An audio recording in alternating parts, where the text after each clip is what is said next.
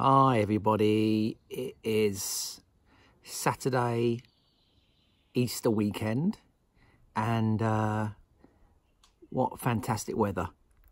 Yesterday I was in the garden all day long, and today the same. And do you know what? I'm almost sunned out. Um, but I woke up this morning to a very disappointing message from Instagram. And basically, I've been getting my account cloned at least once every couple of months by I don't know who it is or why they do it, but basically they're, they're, probably from Nigeria uh, because I did speak to one of these people yesterday and asked them to delete the account. And uh, he said it was a fan page. And I said, bullshit. Um, so I, I complained, I reported it to Instagram, and I do this all the time. And uh, I usually get to hear about these fake accounts through people who send them to me to say, look, you've been cloned. And I, I the same old thing. I say, say to the people, can you report it? And I'll report it too. So it happens, it's every couple of months um, which literally it ain't a problem, doesn't affect me. But I think what happens is these people who run the fake or cloned accounts, they sort of approach women and maybe they try and build relationships out of these women and try and get money off them. It's a scam, basically, isn't it? I don't got Binky. Can you come here? Bink. Here she comes. And um, so I complained yesterday to Instagram, I reported it. And I woke up this morning trying to log into my Instagram, and my account has been blocked or deleted via Instagram for breaching their whatever they say it is.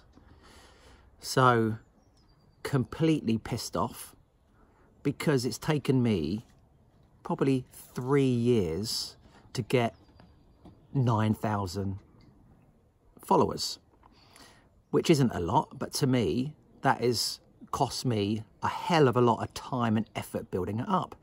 And for Instagram to do this is just unbelievable because it's owned by Facebook and I spend £1,500 a month advertising on Facebook and Instagram adverts, sponsored as.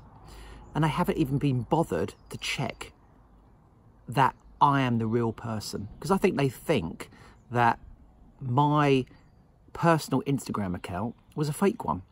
So they've just deleted, or not deleted, they've blocked it, or it's been suspended. So, and it's very, very hard to make contact with Instagram. So basically, I followed the instructions this morning and took a picture of my driving license, which they've had. I've sent it to them twice just to make sure. And hopefully, it's going to be sorted out. Um, has anyone else had this kind of problem? And how long did it take for you to get your account back online. Um, I definitely think Instagram needs to sort this out because you can't go deleting someone's account without contacting them first to say, hey, we are concerned about your account. Can you prove your identification? No problem. But don't go and delete or bar straight away because that's not that's not good enough because these people who have spent hours and hours and weeks and weeks and months and months and years and years building their Instagram followers up, this means a lot to them. And it, obviously it means a lot to me because I spend hours a day on brand awareness through my Instagram. I've got two Instagram pages. I've got one on nuprojects.co and I've got Mr. N. Nick Jeffries um, which is the one which has been barred. So I hope this can be sorted out pretty quickly. Um, you know, I understand Instagram has got probably 500 million users, and this is this is probably happening to a number of people every day because I get approached daily by fake women um, accounts, you know, sexy girls, sexy profiles, trying to say hi, how are you, and they've got uh, three followers and they're following 500. Basically, it's some some Nigerian taking on the identity of a sexy girl, um, following as many people as possible and having a couple of followers back, trying to get attention, trying to find a weak guy or a weak girl to bite, to build up a relationship, and then try, trying to sting them for money or something, because it does happen. So, if anyone is out there who works for Instagram or Facebook, please sort this out because it's not acceptable. I spend a lot of money, I think, and I do deserve some customer service. You know, Facebook chase me weekly to see how my Facebook sponsored ads are going.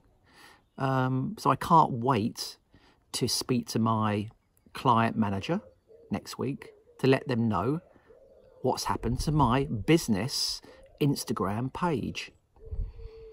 So again, woke up this morning and my Instagram personal page has been taken down because I think they think I am a cloned account. No, I'm the one who gets cloned.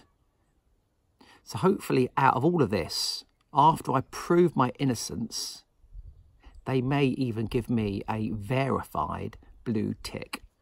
So, every cloud has a silver lining.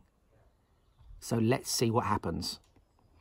Anyway, I think I'm going to go back to sit on one of those benches over there and uh, catch some more rays because it's uh, boiling. Anyway, that's my rant for Instagram. And um, let's catch up next week. See ya.